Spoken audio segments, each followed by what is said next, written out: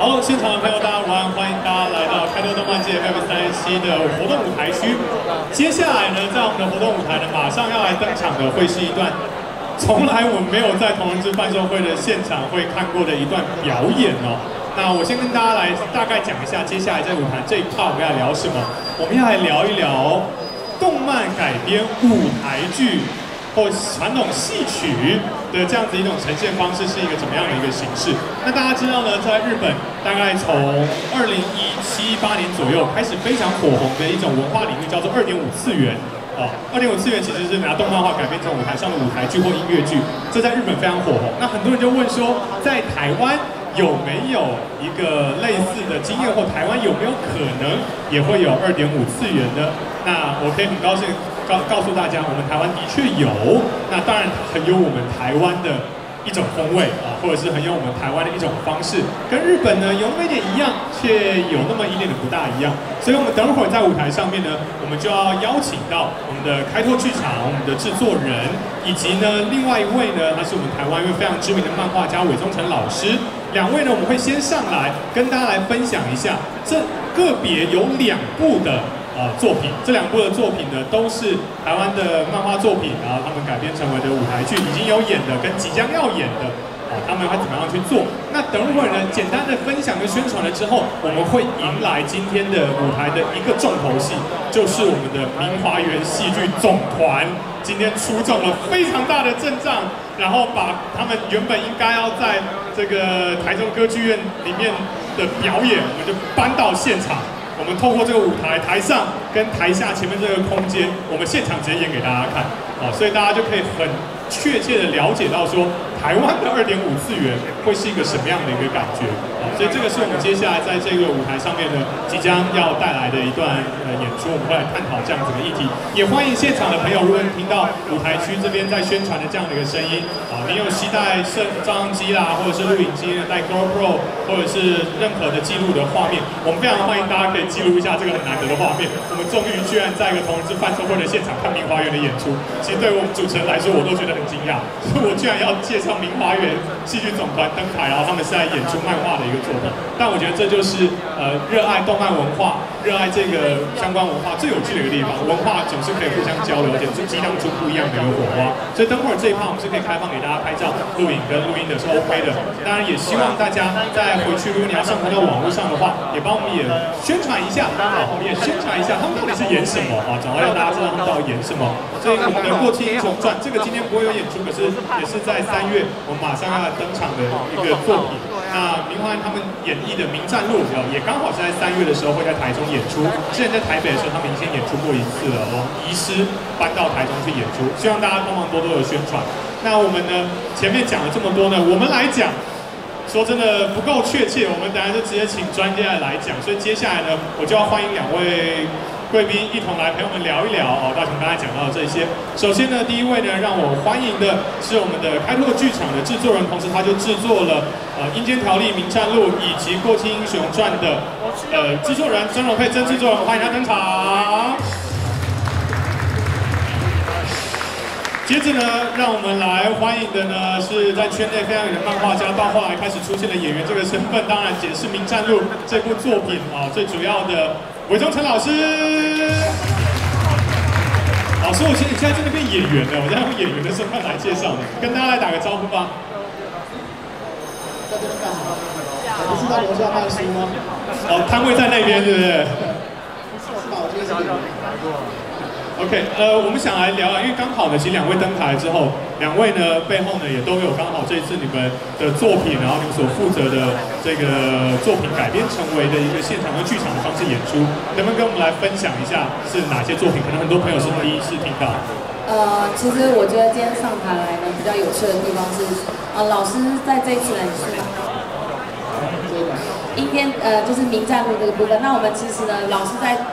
二零一九年的时候被我们拐来，在前我的《阴间条例》跟《名战路》那个合并的一个作品，叫呃在水源剧场演出的那个作品里面呢，他就被拐上台当客串演员。那我没有想到他自己这一次会在《名战路》的自己就嘎一脚演出。呃，其实他找他们找我演《阴间条例》成名战路的时候，我心心理上还可以说得过去，因为我演的是个变态，所以我还讲得过去，真的。那我要说，其实自己啊，在那个我们叫他上台当演出，他还说台词这么多他背不起，结果你知道吗？那四场的演出呢，他有他自己上去演的，都不断的自己在加台词。有吗？我上台的时候，我脑袋是一片空白，就是在台下都觉得，哎，啊，怎么这一段？不知道我当时在干嘛。所以我们给他来比个鼓励一下，他现在一定要，他是被那个漫画家、漫画家耽误的演员。我我还是要画漫画，对不对？但是他问我说第十三集什么时候要出？他都去演戏了，他都去演戏了。你看还有还有还有还有哎，其实我们十月底的时候，如果大家有兴趣。还想看到钟诚老师演变态的话，十月底我们一见条例成名战录会加演，那大家请期待我们的部分这样子。那那还要点香蕉吗？交流吗？对对对。应该有吧。好，那我这边介绍一下，就是说。刚刚有提到，我们其实，在做舞台剧。那我们实际上这个舞台剧比较有趣的地方是，其实有漫画。所以《阴间条例》成名战录呢，在这一次我们在十二月，请萨拉迪老师根据我们剧场版的部分，重新又做了一本新的呃舞台剧的漫画，把它重新漫画化。那《郭靖英雄传》呢，它其实在二零一七年的时候，它是以比较布袋戏武侠作为呃它的基底，然后它其实在讲的是。如果你有看过漫画，你有兴趣上去看一下漫画。其实它讲的是你熟悉的布袋戏的一个呃生那个工作生态。那这这部戏在三月底的三月二十六到二十八呢，由呃阴间条例成名在录的编剧跟导演那一起在编一起携手，我们再重重新制作这一档戏。其实它非常的精彩。如果大家有兴趣的话，三月二十六到二十八在。戏曲中心的小表演厅，我们会有演出。那目前这个书呢，在我们的那个开拓开拓动漫的那个企业摊呢有贩售。这两本有一个好呃特别的地方是，这一本呢，这两本都只有在舞台剧的会场跟开拓开拓系列的活动才会出现。为什么呢？这个呢里面有 SSR 的那个战斗卡，然后这个里面呢有呃。剧照，如果你有看过我们的戏，其实这一本它很特别，它是收藏版，所以如果有兴趣呢，欢迎大家到我们开拓动漫的那个摊位，也可以去看一下。那另外介绍一本，这一本呢也是老师这次的新书，介绍一下。呃，其实我被叫去演七叔这个角色，我当下是非常震惊的，因为我的形象跟技术是合不起来的。那那个时候他们找去演七叔，当演完这一整场戏之后，我就觉得其实。我们这种传统的剧，其实是他们在现在疫情的冲击之下，其实他们是非常辛苦。他们又有呃，平常他们如果也是要很早就出门，然后到处去演戏。那我有这个机会可以跟他们进行合作，然后参加草稿，所以呢，就把这一次的所有的合作的一些点点滴滴，把它画成这一本漫画。那也是在未来数位的单位上面有在贩售。那这一次呢，我们的名战录因为在台北。其实加演，呃，为什么要加演呢？因为其实，在台北场其实已经卖到没有票。其实第三天的时候，大家想要买票已经买不进来，所以就有加演的声音出现。所以呢，决定在三月二十号到三月二十一号会在台中台中歌剧院进行演出。那等一下我们还是会拿这个到下面，如果你们有兴趣购票的话，可以扫这个 QR code。可以直接进老师，我们现在让他们下去绕绕一圈吧。来，两位直接下去，顺着这个场内绕一圈，然后再回到舞台上。